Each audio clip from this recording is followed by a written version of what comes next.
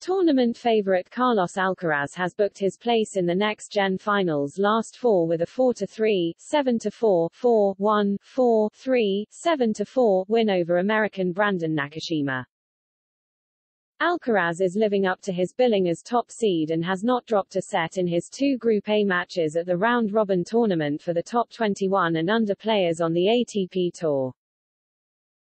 The Spaniard was taken to two tie-breaks by Nakashima on Wednesday but his powerful serve helped him to prevail in less than 90 minutes with 10 aces.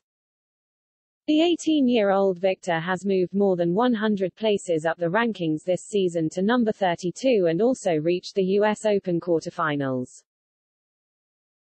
I am really happy with the level one I'm playing at, Alcaraz said in his on-court interview. Playing against a great player like Brandon, you play amazing points like we have played. I hope to play the semi-final at this level. The serve is very important on hard court and indoor courts. I am trying to improve the serve for my game.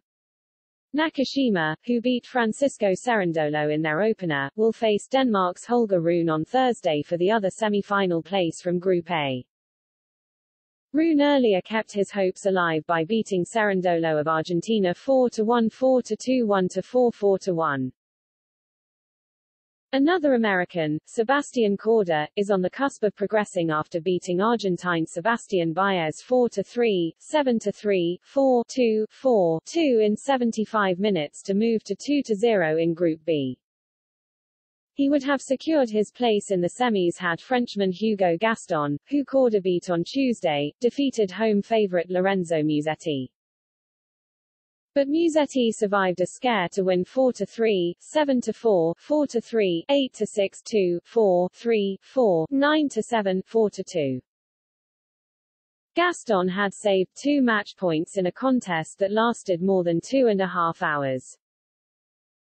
It is the fourth edition of the annual tournament to crown the game's best young player in Milan. It was cancelled last year because of the coronavirus pandemic. There are different rules at the next-gen finals, including on-court coaching, no ad scoring, medical timeout limits, and Hawkeye making all the line calls. The most drastic change is the shorter set, where the first to four games takes the set with a tiebreak at 3 to 3.